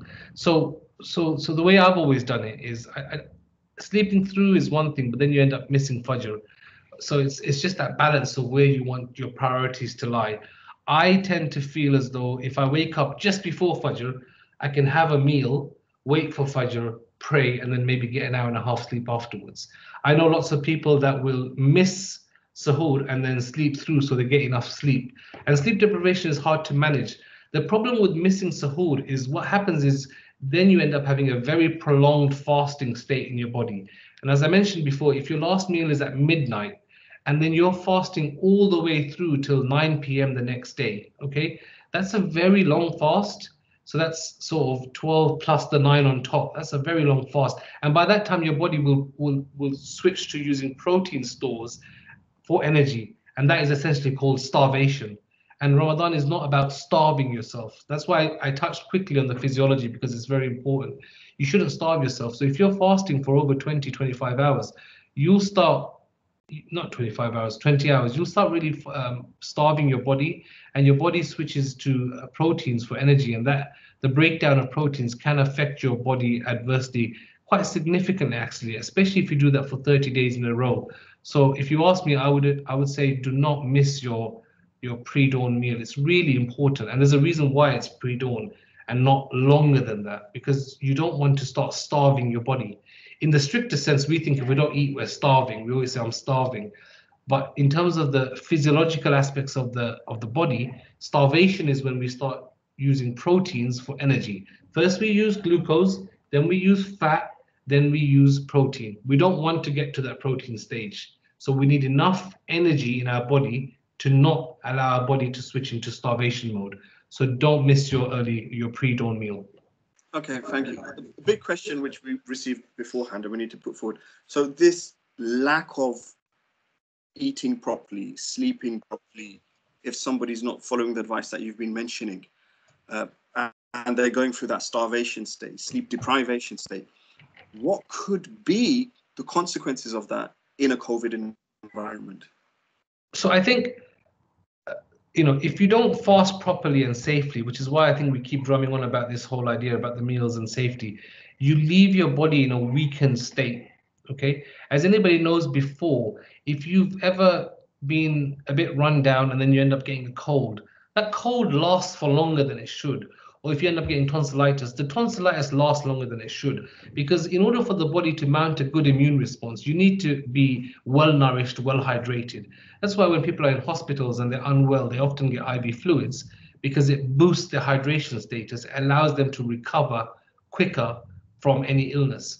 So I've mentioned before, you know, the, the risk that COVID poses, uh, the, the, the severe aspects of COVID to the population of, of the college maybe not so much for the faculty, but definitely for the students, is quite low. But actually, if you're malnourished, dehydrated, sleep deprived, and then you end up getting COVID, you're going to suffer from it more than you should have. And it can have significant implications. We have lots of patients who have suffered from long COVID, which is the symptoms and syndromes that exist post having COVID. And they can be quite debilitating. Luckily, young people have, have a strong physiology in general, barring the ones that have significant medical issues, which is a separate issue. But anybody who's in that deprived, starved state, any insult to the body can cause significant harm, regardless of COVID or otherwise. But in the fact that we're in a global pandemic, it's so much more important for you to try and get the right sleep, get the right meals, get the right hydration, and get the right rest. Is that okay? okay? Yeah, that's very important. Now, somebody's asking um, sleep schedules. Is there anything you can advise on a sleep schedule for someone fasting from uh, 8 p.m. to 4 a.m. is when they're, Bismillah, if you, if you can advise on that. I, think sleep is a, a, big issue in Ramadan. It is for all of us, and we can't get away from that, especially because we want to spend some as much of our time as we can praying and remembering God during our prayers and our activities. I think it's very important to have a very strict schedule around your sleep. And that's important actually even outside of fasting. Especially as you're growing up, it's very important to get the right amount of sleep now, obviously in Ramadan, you might not get the right amount of sleep depending on how much you do, but it's very important to take those opportunities. Now, it's difficult for some people because some people naturally go to sleep at 1 a.m. It does happen, um, which is not safe in its own in, in its own right. In Ramadan, people go to the mosque in the evenings, especially the the the, the males. They often don't get home till midnight, and then it's very difficult to then just switch off and go to sleep. Not everybody can do that. Some people can, but a lot of people struggle to just go off to sleep. I think sleep hygiene is more important than sleep scheduling. And what sleep hygiene, and it's worth looking this up, guys, if you have a, and girls, if you have a chance. Sleep hygiene just gives you tips on how to manage your sleep environment in order for you to get the adequate amount of sleep and get off to sleep. So simple things like staying off your phones after a certain time of the day, staying off the laptops, avoiding caffeine late in the day after say 6 or 7 p.m., um, switching off all of your instruments, having a darkened room. These simple things make a huge difference. I remember when I was at college and at university, because um, obviously I went off to do medicine, I was staying up till two, three in the morning, and because you just do when you're young, and it catches up with your body. And as I've got older, I've implemented some sleep hygiene routines into my day, i.e., I don't have a TV in my bedroom. I never have. I used to, but not anymore because it's just a distraction from sleep. I don't use my phone after a certain amount of time because again it distracts you from your sleep. And if that period you think you're on your phone playing a game or texting your friends lasts an hour you've had exposure to light in your eyes in a darkened room it's much harder than for your body to go off to sleep. So there's another delay then so you don't end up going to sleep till two and then you have to be up again at four. So you can see how over the period of 30 days this can really catch up with you and weaken your body. Very important, not necessarily to sleep schedule, but to implement sleep hygiene routines within your life. And this is not just for Ramadan, this is all the time. Okay, thank you. So a uh, few people are asking, um, what's the best way to stay hydrated while fasting? So is there a schedule of drink this much, make sure you drink this amount at this time? So I think the key thing is um, is is when you're allowed to drink, just drink. So I was in I was in Umrah during Ramadan two years ago in Mecca, where it was really hot. So as soon as iftar came, and that short time between iftar and sahur with the prayers, we were told by our our our our scholar that was with us, just drink, drink, drink, drink, drink, drink, drink. Don't worry about anything else. You need to keep hydrated. Now we're not in such a hot country now, hydration status is very important for your concentration, for your physiology, for your ability to fast, and for your ability to study. Because I understand you guys might have some exams coming up. So what I would do is at least two liters for most people is enough. If not, do more. And it's worth just, if, if it's at home, just understand what is two liters in your mind, because that really helps you kind of grasp how much fluids you need. The other useful thing is fruit and vegetables, because not only are they high in fiber, which helps your digestion, but they're high in fruit. You may find in some households there's lots of melons cut up during iftar time. There's a reason behind that, because fruits like melon, they're predominantly water with a nice taste to them, but that hydration you're getting at iftar time gives your body a bit of a boost. And what you have to remember is you drink your glass of water and you have your fruit at iftar. Through the evening and into the into the morning, if you are going to snack, it's better to just drink water because that hydration you'll need that to carry you through to the next day until the next iftar. So hydration is really important. Actually, temperatures are picking up now, and when we're in Ramadan, we're probably going to have some really hot days if you really want to uh, optimize your ability to enjoy the fast, and this is important, fasting is there for us to enjoy and really benefit from. You can't really benefit and enjoy something if you're just kind of lethargic and flat. And that's part of Ramadan. You will be tired, but you should feel enriched. And water is honestly is the best medicine.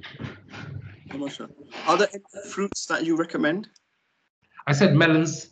Melons is really good. Oranges are very good. Um, so like I said, when I was in Umrah two years ago, we used to take oranges in our bags and at iftar time would cut them up and have a bit of juice and orange. So anything that's high in water content is very useful during Ramadan. Okay, I'm going to give some, uh, Dr. Ahmed, if you don't mind, I'm going to chuck a couple of questions at you rapid fire, which I hope hopefully not too complex. Um, so should foods be of a li liquid consistency? How do we prevent bloating? are there any vitamins or supplements we should be taking while fasting? So if you can do those three, then I'll, there's another couple I'll chuck. So I don't think food should, there's no need to liquefy your foods at all. There's a misconception that says, oh, your liquefied foods are easier to digest. They are if you're 75 and frail. Um, but if you're young and healthy, like I'm hoping most of you are, there's no need to liquefy, liquefy your foods, actually. We don't want to put your digestive system to sleep because if you put your digestive system to sleep with liquefied foods and then at iftar time you have a massive meal, um, your digestive system is going to struggle. Remember, this is not a starvation period. This is a fasting period. There's a significant difference. Bloating is often caused by foods that are poorly digested. So like I mentioned, you know, a lot of people get bloating and also acid reflux during Ramadan. It's because they're having quite greasy foods, oily foods. These are harder to digest, especially when you're fasting. So try and have things that are much cleaner. Fruits are very good things. Whole grains, as I mentioned, very useful, uh, very useful food to have during Ramadan. Um, you need to avoid things like deep fried things, curries with excessive oil. Grilling food is better than um, than, than oily food. Um, high sugar content, for example, the rasgullas and the gulab jamun, Indian sweets.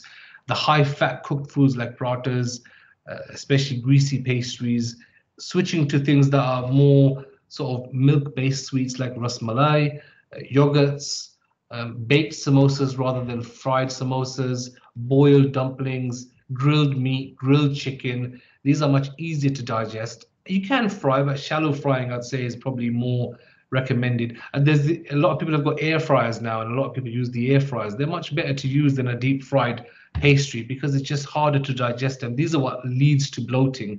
Another reason that people get bloated is because they get constipated during Ramadan. So foods that are high in fiber, and the way I I, I remember it is anything that's green generally has a lot of fiber in it. So uh, fiber-rich foods will allow your digestion to keep going and you don't get constipated. And that again will limit the amount of bloating that you have. Sorry, Kay, what was that last question? Okay. Vitamin supplements.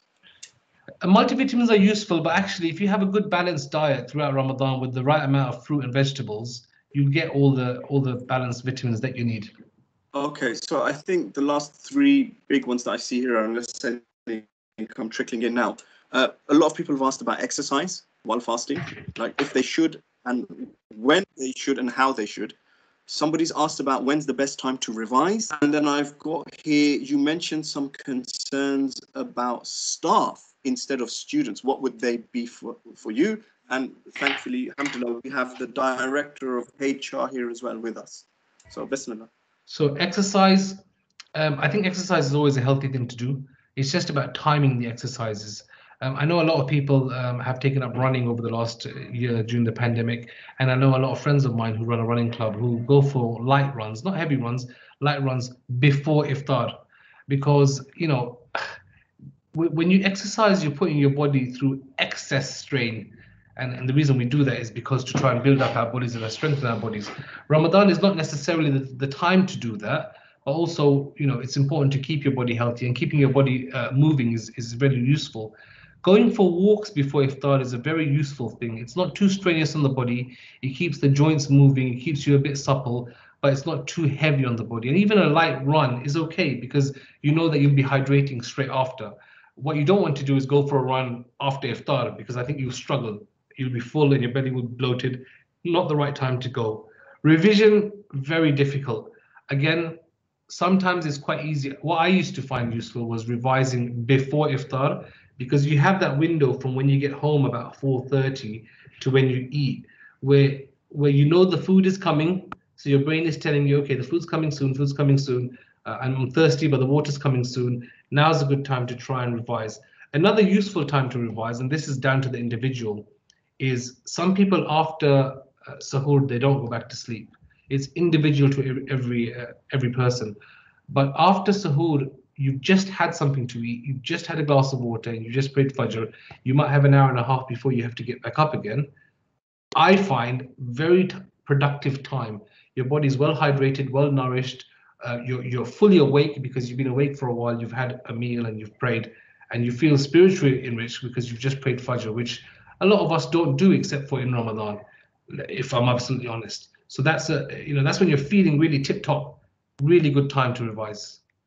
Um, and the last one was staff. So yeah, you know, we're talking about the safety of students during Ramadan. Um, the students aren't the only people that may be fasting. Our staff are fasting as well, and they have families at home, and they often, in many respects, have a lot more responsibilities at work and at home than some of the students do. So they may be responsible for their own children who they have to look after and prepare meals for and ensure that they're safe during Ramadan. They also have to prepare meals for, uh, prepare um, lessons for the students, deliver those lessons for the students, which involves a lot of talking to the students, which can make them feel a lot more um, tired, lethargic. So it's very important, if not more important actually, for the faculty to make sure that they engage in Ramadan in a very safe way. You know, we're all human beings. Despite what we're doing, we all need to be safe during fasting. So I think it's so important that our our faculty um, look at some of these issues. Sometimes when you're older, you think, oh yeah, I know that, I know that. But actually fasting safely and fasting properly and fasting to benefit your body and your mind and your soul, it's relevant to all of us, whether you're 14 or 45, it doesn't matter. And we all somehow we all sometimes ignore our bodies during Ramadan. I think it's more important, if anything, for the faculty to really listen to their bodies during Ramadan and not to overexert themselves. Otherwise, you, you won't benefit and you, you end up putting your, your body in harm's way. And don't forget, some of the faculty will be people who are at higher risk of severe complications from COVID. We know that um, COVID uh, has had an adverse effect on BAME communities, and I'm assuming a lot of your faculty are going to be older and also possibly from BAME communities need to be very vigilant and try and take care during Ramadan. Also, just one more question came through, and then just something I want to ask you, please. Somebody said something about weightlifting at the gym. Any thoughts on that in Ramadan? okay, I know a lot of people that do do it. Um, I wouldn't advise it, but I wouldn't, you know, everybody knows their own body. Weightlifting puts a significant strain on the body. Again, it's it's all to do with timing. Okay. A lot of people think, oh, Ramadan, great time to lose some weight and get super fit.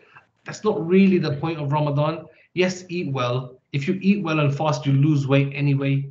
If you overexert your body, you'll end up putting your body through strain and passing out. Probably not worth it. You'll end up missing a few fasts as a result. Some people do it. It can be done safely. If you're asking me as a doctor who's talking to Sixth Form College, I would say avoid it. And thank you.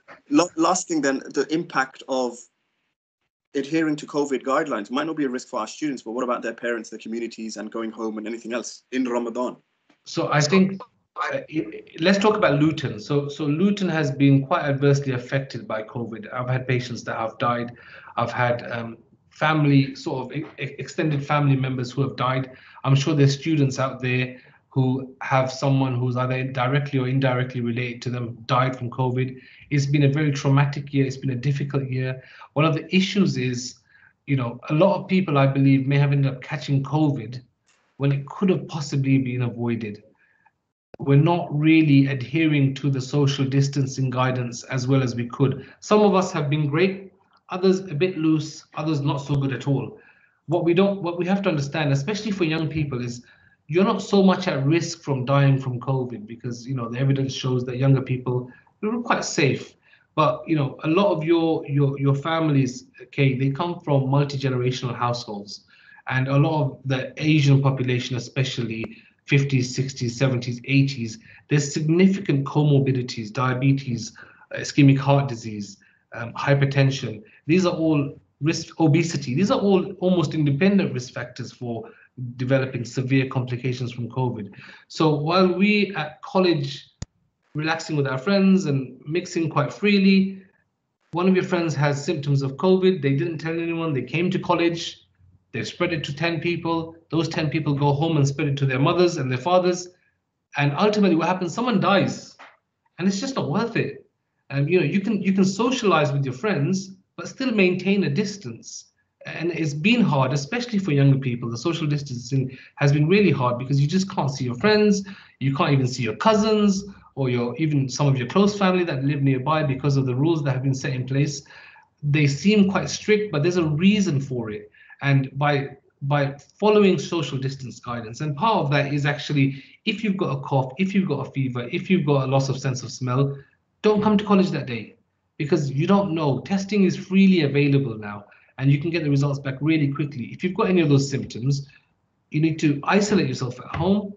And if you have, you know, family members who are at risk, make sure they stay away from you until you've got a test done.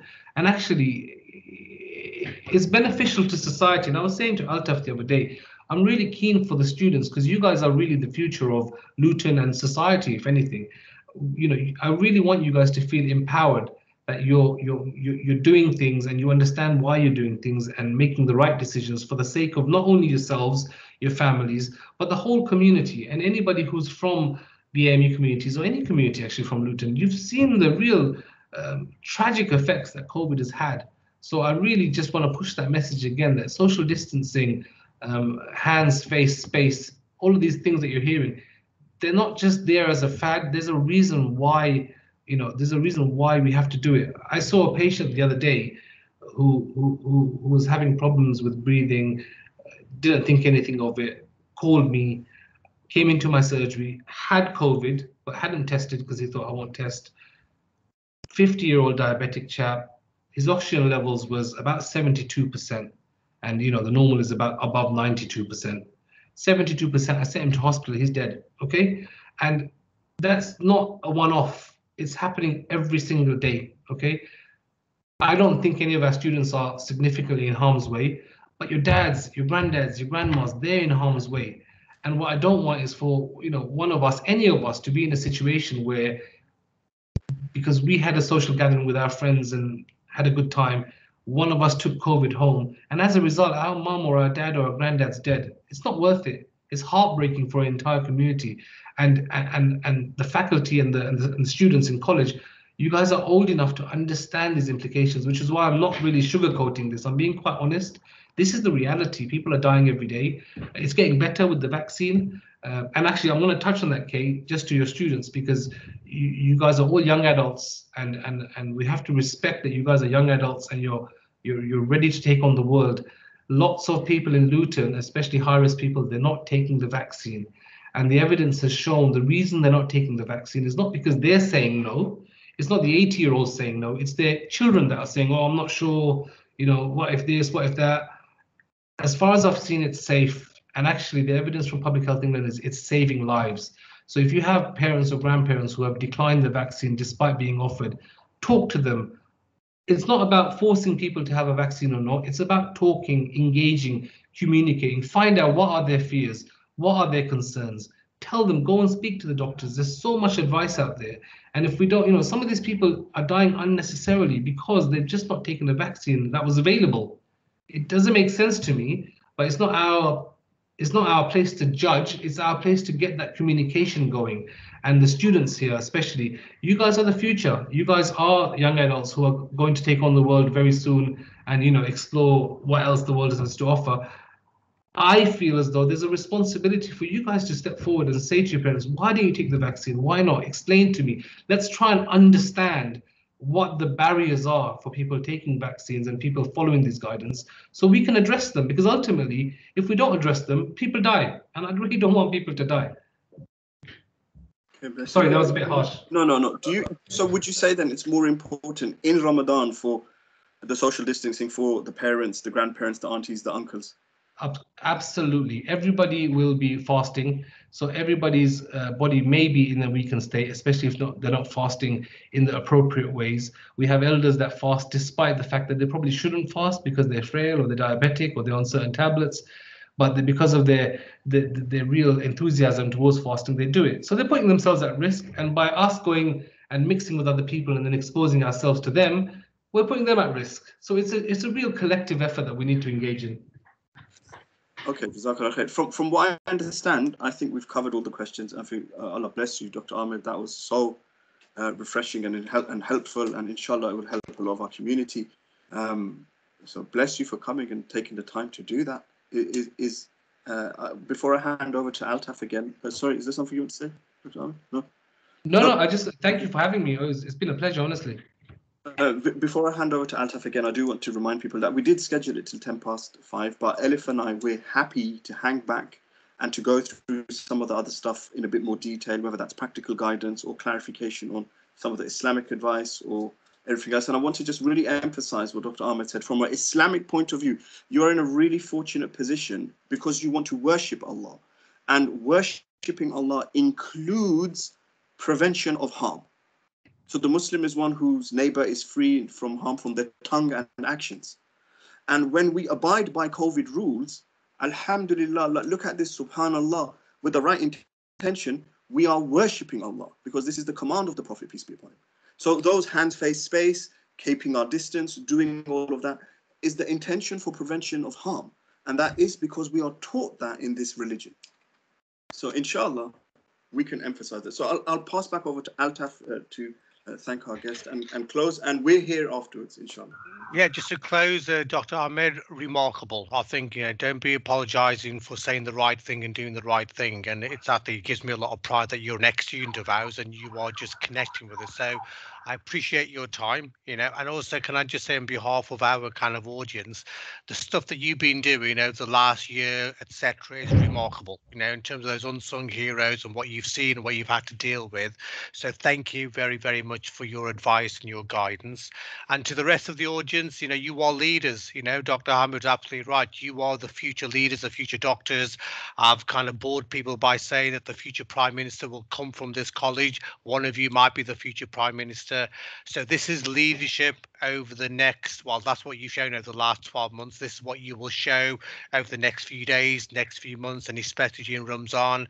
And yes, your job is to influence and cajole. Everyone has that wise auntie. I have the wise auntie who thinks she knows everything but doesn't know much. Our job is to have to communicate in the right way so we are doing the right thing. So thank you everybody for your time and you know have a blessed Ramzan, have a good break. You deserve it. Spend some good time with the family. And, you know, it's an exciting month. I'm looking forward to Ramadan. It's a, a brilliant time of the year. So thank you, everybody. And thank you, Elif and Kay. You have been really remarkable. I learned a lot from just listening to you. And I don't think I've ever heard Elif speak that quickly ever before. So well done, Kay. I don't know how you did that, but well done back to you unless you want to have some any final words, Kay. Uh, Dr. Ahmed, Allah bless you. Thank you so much. We'll be in Take touch. care. Assalamu guys. Thank, take, Be safe. Thank you, Enjoy. sir. Allah Hafiz. Bye bye. Everyone, everyone else, you're welcome to leave. If anybody who does wa- wish to stay, Elif and I are here to go through more questions in a bit more detail and everything else. But uh, Altaf, Allah bless you. Sayeda, Allah bless you. Thank you so much. Thank you. Um, Allah Hafiz. Ble- Bless you. Take, take care, inshallah. Assalamu alaikum. Thank you. Assalamu alaikum, everyone. Wa alaikum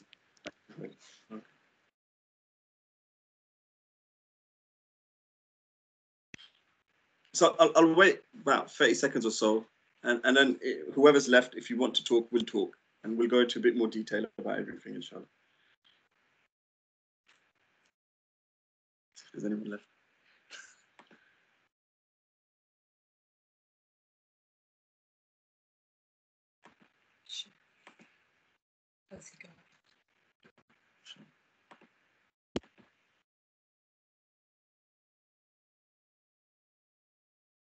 Okay, there's some people still here. I think they're desperately trying to press leave, but they're not able to.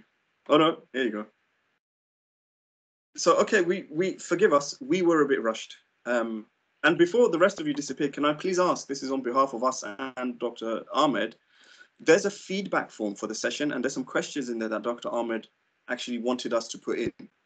So if you can be so kind when we're done, if you can put that in there, I've put the link for that in the chat if you can do that, that'd be really appreciative for us um, uh, and for that. Uh, so Huma's asked again, what's the best thing to do for Laylatul Qadr? Inshallah, I'll talk about that now as well. So we're going to continue uh, with where we left off and, and have a, a wider conversation. Uh, any recommendations for Indian translation? So let me go through some rapid fire questions first that came through that I was doing on an individual basis.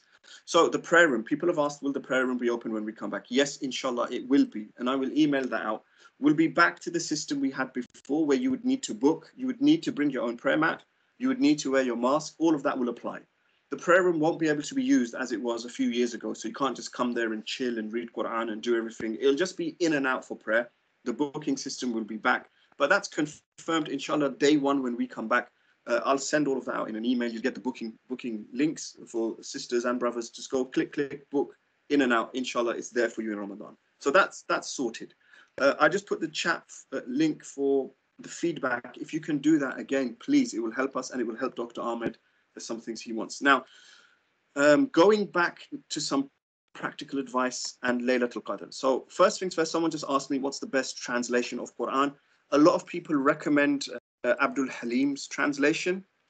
It's quite good, Abdul Halim. If you don't have a copy in English, you can go to Quran.com and, and from there you can select different translations. Honestly, there is no single translation that's going to be, you know, on point with it. Um, but Abdul Halim is quite good. So Quran.com, you can go there, you can change the settings of the translator, you can find whoever you want, see what goes on with it. But I'm, I'm telling you, none of them are perfect, right? So just bear that in mind. With regards to Laylatul Qadr, Elif said this, and I'll, hand back over to her in a minute. Um, so with regards to Laylatul Qadr, which is very important for Muslims, and Elif did mention, and I just wanted to reiterate this, we're not 100% sure when that is. People say 27th, people say last 10 odd nights, uh, whatever. The advice from some of our teachers is the following act like it's every day, right? Act like it's every day. Because if we take 30 days and behave every day like it's Laylat al Qadr, then inshallah we'll catch it. Okay, the last 10, maybe you act like it is a bit more. So Elif mentioned giving a pound a day charity. That might be too much for you, or you might not know how to do that. So even if you wanted to give charity on a monetary basis, what you could do on your way to the shop or on the way to school, you could even like, you know, those little charity boxes that you find in the shop, you could put 10p in there, that's enough. It would be as though you gave charity for a thousand months. In the college, we actually have a charitable partner, the Luton and Dunstable Hospital.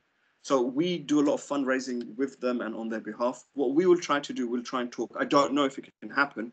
Uh, we do take donations, but we'll see if we can set that up. so that you can be in a position where you can donate while you're at college. Um, so we'll have to see about that, inshallah. Other things you can do in preparation for Laylatul Qadr. Elif mentioned this, but I want to clarify this. So Surah Al-Ikhlas, so Qul Allahu Ahad, Surah number 112, which is a very short surah. There is hadith to tell us that if you read this three times, you have the reward equivalent of reading the entire Quran. So what is of a bare minimum you can do just on a daily basis to implement with the intention that you catch Laylatul Qadr is to read Surah Ikhlas three times. Because then, inshallah, when you catch Laylatul Qadr, it will be the reward of the Quran multiplied by a thousand months. So look, we're saying tiny basic baby steps at the moment. You could add two extra nafil to your prayer in the evening in the hope that you catch Laylatul Qadr and then you have prayed two extra nafil for a thousand months. So these are all baby things and re-emphasizing what Elif said.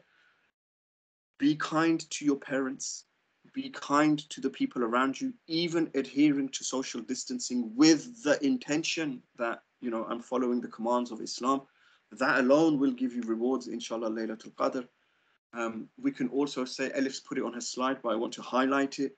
Just walking from a place from the college to the other side of the college instead of going there with your headphones in with your heavy metal blaring or whatever it is you listen to just walking from corridor from northeast down downstairs just in that moment if you could just utter in in your heart just say subhanallah or alhamdulillah or la ilaha illallah just as you're walking inside your heart you're getting the constant constant reward of dhikr and praise and all of that and inshallah, if that's on Laylatul Qadr, why not? If you don't have a tasbih, like the physical prayer beads, invest in them. Have that in your pocket. Go around and use that wherever you want to. You know, there's evidences for tasbih. There's, there's no issue with it whatsoever. Um, going through any act of goodness. So acts of goodness fall into two ways. Things that we actively do and things that we abstain from. So if we don't sin, you're getting reward for that. Right? That's really important. If you do good works, you're gaining reward for that too. So it's a win-win situation, inshallah. So we just have to be conscious and mindful of what it is that we're doing. So we can continue doing that on a daily basis. When you're at college, what I will suggest as well, which would be important, is that um, you show that extra level of kindness to your teachers whether they're fasting or not fasting, right? Because it is a month of goodness. So we need to do that. And I want to emphasize that look, as your teachers and members of staff, we are human beings. We have good days, we have bad days, right? We have chaotic lives inside and outside of college. We are human. So overlook our flaws, forgive us for our shortcomings, of which we have many. In Ramadan, in particular, because that extra kindness you can show us, Allah is aware of. Now, um, somebody asked, how do you receive the nutrition book? I'm going to email it out to you all who registered. And what I'll also do, um, we, we will put that, upload it online so you can have access to it. The Ramadan planner, I'll tell you where that is. I've already uploaded it, but I'll share with you where that is. And I'll do that, inshallah, when the meeting finishes and, and we're done. Um, how, and that's a really good book. You know, our thanks to the authors, like subhanAllah, they charge money for that book but we went to them and we didn't play the poor card, right? It's the truth. We said, look, it's our kids in Luton. They're not going to be able to pay seven, pay eight pound a pop. What can we do? And bless them, they said, just give it to them for free. So they've given that to us to give to you as a gift for Ramadan so that we, inshallah, can have that discussion with our families and they can be healthy and, and safe in Ramadan as well. Now, before I hand over to Elif, just what I really wanted to say, I, I did some rapid fire um, fiqh questions people were asking me. Um, so somebody asked about suhoor. Uh, and, and I want to clarify this. Somebody asked me, do I can I do suhoor at 12 o'clock? Technically, yes, you can. But you heard what Dr. Ahmed said, right? That could cause starvation issues. From an Islamic point of view, it's not really an issue if you missed it. It's better, obviously, too, because it's a sunnah of the Prophet, peace be upon him. Somebody did ask me, does do I have to have iftar with a date? No, you don't You don't have to start your iftar with the date. It's not an obligation. It's better to, and there's probably great wisdom in it. It's a practice the Prophet, peace be upon him, himself did. And, and it's a sunnah. It's very nutritious, very good for us. But a lot of the stuff, like, uh, I, I really want to emphasize this. In different parts of our lives, we will have different tests. Right now, you guys are students. You might not be in a year or two, right? Or you might not be in five years from now. Who knows? So the individual test that Allah has given you is that of being a student. So if you divert your energies and your efforts to being a student, this is worship. Like for example, if you've got an exam in the morning and you know your heart says I want to go Taraweeh for 2 hours, but you know it's better to study, honestly, if in that situation, if you would have gone to Taraweeh, Allah is so merciful that He's told us this in literature. You will gain the reward for the intention that you had, even if you couldn't fulfill that intention. So if you would have gone Taraweeh, but you didn't, for reasons out of your control, Allah will give you, inshallah, the reward for that anyway. But if you instead focused on your exam, focused on your education, focused on college, that is tremendous in terms of reward. I know it might not feel like worship, but it is. And in hadith literature, in Tirmidhi, I believe the Prophet, peace be upon him, told us for the one who seeks knowledge, even the fish in the sea asks Allah for forgiveness for them. Right? And you are blessed enough to be in that circumstances now. That might change for you later on. So really take advantage of that. You know, you are students, students of knowledge, inshallah, which will benefit you and the people around you. Focus on your education in Ramadan. There's nothing wrong with that right? Taraweeh, be careful. It's a mosque. If mosques are holding it, you know, people go there. Be careful. Social distancing, be careful. You can pray Taraweeh at home, no issue whatsoever. You can do it at home. And, I have to stress again, you don't have to do it. It's a good thing to do, but you don't have to do it at all. Right? So depending on, on where you go through, uh, it's just, you know, your situation's right. Is it okay to pray Taraweeh plus 12 at night? Yes, it is. So you can pray Taraweeh all the way up until Fajr if you had to. I would suggest it's better to do it before midnight because I hope you're going to sleep and then waking up. Right, so uh, that's your consideration here. Um, any other rapid fire fiqh questions for me before I hand over to Elif? Because again, I am conscious that uh, you know I don't want to take up too much of your time. Rapid fire fiqh questions, send them to me. A lot of the questions about diet and food and meal planning, inshallah, the nutrition guide will help you on that that you can you know talk about it to your families. If you have a burning question on anything like uh, does listening to music affect the fasting? Yes and no. Look, if you take the position that music is haram, then the only effect it will have on the fast is the fact that you have engaged in something that is haram. So what does that mean? I, I, you need to be very careful to uh, how I explain this. Allah will not take away your reward. He doesn't say, hello, here's 10 good deeds for you but you did something naughty, let me take away two. That's not how it works. Instead, what you will find is that Allah places no limit on the good that we gain. But if we sin, that limit can be capped. Right? So you have to look at it like that. Instead of having a million good deeds that day, because we have done things that uh, we shouldn't have done, Allah may have said, today you're only getting 50 good deeds. So if you take the position that music is haram, listening to music will not invalidate your fast, right? Your fast is still valid, providing you didn't do the nullifiers that we spoke of. But there's the question of sinning.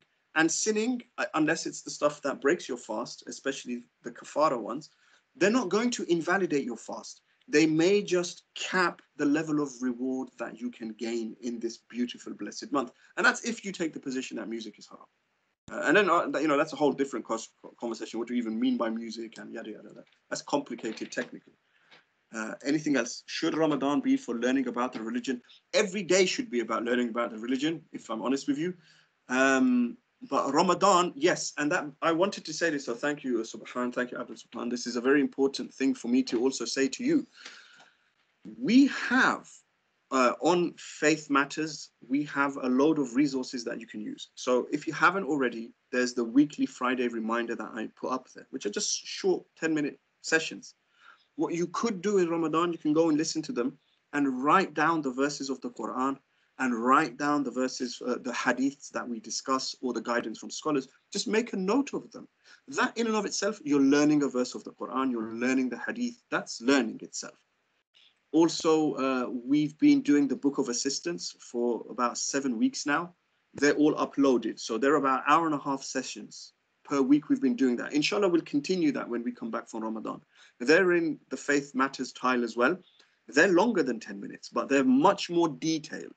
So you can go and click on those and take in the guidance that you hear from that or watch the videos. The PowerPoint has the, has the book displayed. You can do that.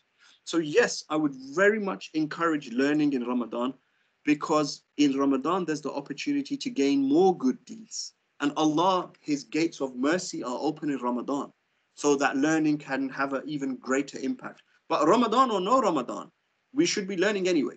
It's obligation on Muslims to learn. And that's, that's you know, here or there. In Ramadan, Allah can make that learning for us a little bit easier. Now, Ramadan itself, remember, it's testing us as a human being. And that testing us as a human being is a transformative process. All right, that's a transformative process. When we respond properly, we change. So, you know, the usual experience is the first week of Ramadan, everyone's like a zombie walking around, a bit, bit tired. By the second week, we get it a bit more. By the third week, we're really in the swing of it. By the fourth week, we're in it. And when it leaves, we feel sad. Right? We have to think, why is that? Why is that? Now, Imam Ghazali, rahimahullah, he mentions that all of the illnesses and diseases of a human being come from their stomach. Right? And, and that, that's based on a hadith that's really important. So when we actually control the stomach, we find that spiritually, a lot of other things are going on as well right? Our anger decreases, our sexual uh, appetite decreases, our awareness of God increases because we don't have all these things to distract us. And one of the best things about Ramadan is that it forces us to be in the remembrance of God. And Allah tells us in Surah Baqarah, remember me and I will remember you. So when we're walking around sad and starving, try and remind ourselves this is because God told me to. And then when we remember him, he remembers us, and then remind ourselves that he's remembering us.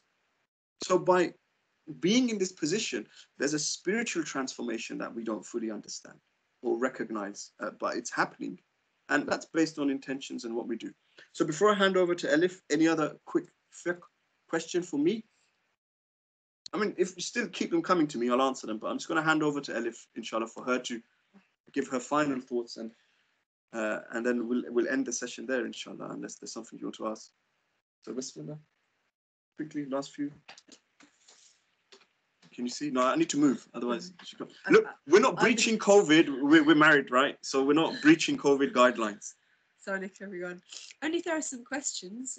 I, I, I think you know that the, the what was said before is is probably enough, and uh, the slides and stuff to to revisit if you wish. But if there are any particular questions, then Bismillah, send them over. Or if you look, if you want to unmute yourself, unmute yourself and, and say it that way if it's easier as well. Be brave enough. Uh, okay, sorry, I one thing I haven't actually mentioned first aid, uh, so I'll have to I'll have to deal with that uh, specifically as well. But in, look, the first aiders are here to help students, right? And we need to listen to them what they're saying. So in college, if we're struggling a bit with with these things, uh, show them some compassion because they they think you're unwell. So if they're saying to you, drink some water, drink some water, you may need to drink water if you're that unwell, right? Remember, you can break your fast for medical reasons. You're not sinful for it. You just have qada. The first aiders, it's a really difficult time for them, even in COVID. Um, so please do have consideration for them uh, in Ramadan. Uh, if you're unwell, go home and you know see what you can what you can do there to take the pressure off them. Anything else?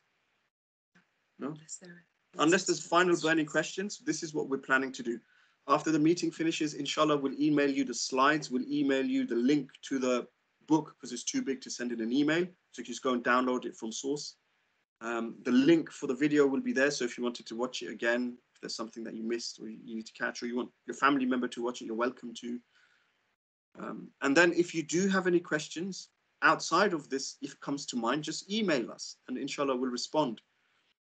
I uh, don't believe we've missed any questions. If you do happen to like do any of the recipes in the book, ah. maybe you could share some photos of that because we could send that back to the authors and say, look, our students have, tried and this was their feedback. And also maybe we could get something going on social media, perhaps um, with uh, uh, Anissa perhaps, and you could just encourage people to look. Look, this is this this are healthy stuff. Not not not this is like my mum's deep fried samosas. We don't not that, but specific like healthy um, recipes that you've done, either the ones from the book or, or your own ones to share. So that's a way of educating other people as well. So it's a way of teaching and and you know more good deeds as well in that way.